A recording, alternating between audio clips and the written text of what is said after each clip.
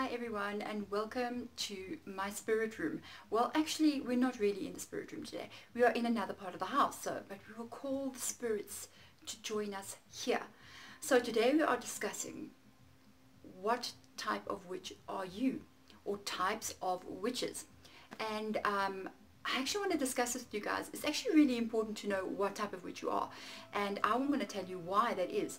And hi, by the way, I'm Deborah and this is my channel, Energy of Everything, where we discuss all things, as you can guess, witchy. But also spiritual as well. We do herbalism and even some tarot card readings. Okay? So, first of all, um, oh, please like the video if you do like the video and subscribe as well. Hit the subscription. There's a thing in this corner here. You can just tap on it and uh, hit the, the subscription and then the notification bell so that when I do bring out new videos you will know. I am going to be bringing out videos got to do with types of witches.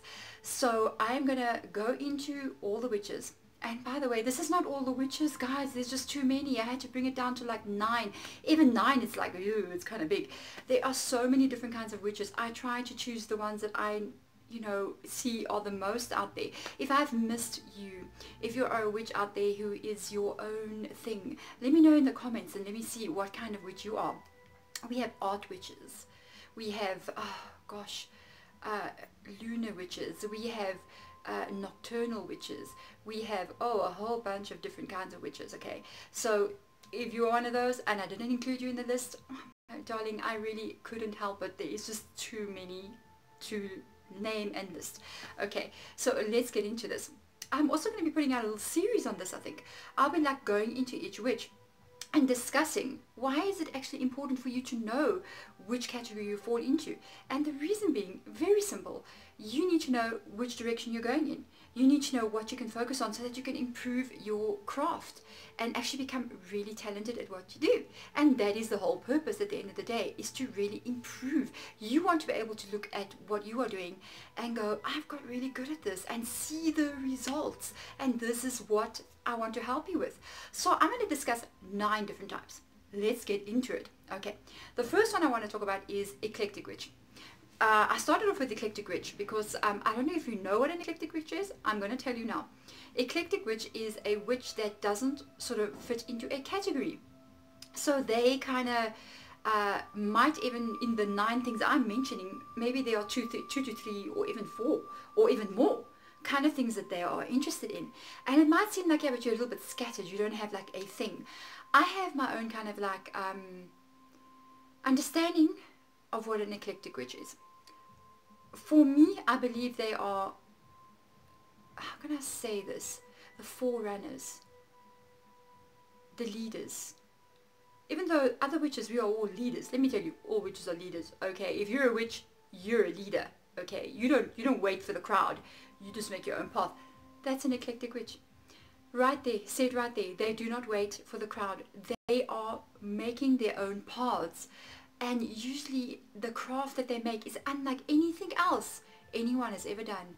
They are taking things from different places and putting it in, leaving what they don't want, keeping what they like and making something new. That's why I say they're like the leaders because a lot of the things they do, you might find other people see what they're doing and start following what they're doing. That's why they open the way to new things. Okay, second one I want to discuss is Green Witch if you know me, if you are you're one of my Instagram followers, or even if you're not, uh, yeah, you can go see my Instagram below. I have millions of herbs. Everything is about herbs with me. If I'm going to do a magic spell, the first thing I go to is which herb do I need? Okay, I don't even go to look at the candles or what color or whatever. It's just which herb. If this is you, you are growing plants all over your house. You love nature. You hear the trees and you know when that wind is blowing through those trees, they are talking guys you are a green witch. Uh, yeah you just love nature. And just because you love plants I mean I see a lot of people having tons of plants in their house and I go mm, green witch. Doesn't always mean you can always grow them by the way. I love plants. Not all of them make it unfortunately. But uh, yeah some of them do. And then I know me and you we understand each other. Keep going okay? I always keep trying. But I love I love herbs. Green witch passion. There you go. Uh, I have a list, by the way, because I don't want to forget one. And I look back on the recording and I'm like, I forgot that one. Okay, next one is going to be Kitchen Witch. okay, let's discuss this. If you are a kitchen witch, first of all, A, invite me over. Hello. I am not a kitchen witch. That's why I want you to invite me over. If you are in your kitchen, you have a passion for cooking. You have a passion and energy. I mean, you know, have you been to people's houses and you just go in there and everyone's in the kitchen? It's like this is the gathering spot and you're always doing something there. You're always planning on cooking something. You you love cooking. Um, you could even be incorporating already this into your practice. If you're not, if you feel like you know I actually love cooking and I'm such a good cook, you could even go down this road and become a kitchen witch. Because I don't know if you know, you can make magic with onions. You can make magic with carrots. You can make magic with green beans. You can make magic with anything. A pot and a spatula you can make magic with that. If you have an altar in your kitchen, if you have candles in your kitchen and some kind of effigy of a goddess or something in your, you're already a kitchen witch, okay? Keep going that way. I'll put up videos and stuff for you guys, like I said, and we're going to go into more of the things. What are the, some of the tips and hints that you can do to really understand more about how to improve on your, your path? Let's check the next one. Oh, elemental witch. Okay. Elemental witch. Uh, if you are a witch, you know uh, if you're not a witch, let's say you're not a witch, okay, and you're just looking at this to gain information. Hello then, how are you? Welcome to the dark side. Literally, not really. We are beautiful people. Okay, so we have earth, air, fire and water. We do not call it earth, air, fire, water. If you're a witch, you will call it spirit of earth, spirit of air, spirit of fire and spirit of water. I also work with that, but an elemental witch will work with it in an in-depth level. So what they're going to do is they are literally going to be able to say, I am I, I need purification and they will know which elements to work with to achieve purification. I've got to say some of the strongest witches can actually be elemental witches because they are working with the very essence and existence of what makes our world exist. Without these elements nothing would be here. Maybe rock only. But you need all four to create this world that we are living in. So working with these energies is a really powerful thing to do. I love elemental witches. They are amazing. So next one. Oh, crystal witch. Is it just me? Or is everybody wearing crystals? Is everybody posting pictures of crystals? Or is it just me? Is it just the crowd that I follow? I don't know. Or is it people that I'm around? But I have noticed people who I never thought would even be interested in witches are um, in witches in crystals are actually having crystals, I mean, on their desks, and you're just like, I don't know, I like the crystal. You know what? I believe there is an awakening in people, and I believe it's Mother Gaia, our beautiful Earth, that is sending this energy out using crystals to attract the eye of the people, and then they begin to feel the energy, and they are awakening crystal witches everywhere. And this energy is so needed right now because of the healing that needs to take place, because of the shifts that are take, taking place. So crystal witches are literally reconnecting like this human energy that we have with the energy of our mother Gaia. And if you are a crystal witch, you don't just have crystals. Well, you have crystals and you you can take a loan to buy crystals. Okay, don't take a loan to buy crystals, please. But you go buy crystals like other people go and buy, other women are buying makeup. You know, you're not buying makeup, you're buying crystals. And you love it, you have a passion for it every new moon or every full moon, there are millions of crystals on your windowsill. You must well be a crystal witch. I love crystal witches as well because they are healing the earth. When you are doing that, you are reconnecting the energies. I love it. So, ah, fairy witch, guys. Fairy witch is... Now, do people even believe in fairies? Most witches believe in fairies, guys, because we understand that they are energetic beings and we do not call them fairies we call them the fae and to discuss anything that's got to do with fairies and fae literally we need an episode for that all by itself its own total recording. So these are energies that are found in the spirit world but not really the spirit world. There are many different levels of human uh, earthly plane and then spiritual planes different levels and they are in these levels. And if you are connecting to anything like this it doesn't have to be a fairy. I mean you can find connection to fae even through things like unicorns and through things like like like uh, owls or uh, sprites or you're just feeling even towards mermaids, if you have that connection to that, this is a whole another story. I really must do a show on this one. And um, then you could be a fairy witch or a fey witch. I prefer to say fey. And that means you are healing those connections with these beings that have a great love and respect for our Mother Earth. And you have fairy little ornaments and things all over your house, in your garden, in everywhere, on your chances are you are connecting to them. Ah, now wait a minute. Uh-huh. Are you connecting to them? Or are they connecting to you? That is why. That's interesting. Okay. Fairy witch. I actually will put something out for you guys and tell you how you can honor that and how you can actually make that bond so much stronger. It's an amazing energy to work with and it's very healing guys. So next one, ooh, my favorite is hedge witch. Let's look at the word hedge witch. You have a hedge, you're on the hedge guys, you're on the fence. And this side you have the world of spirit. This side you have the earthly plane. Hedge witch sits between and most of the time a hedge will be born with it. If you're not born with it, you are so attracted to these kinds of things. And what kind of things are they? Dreams. Mm.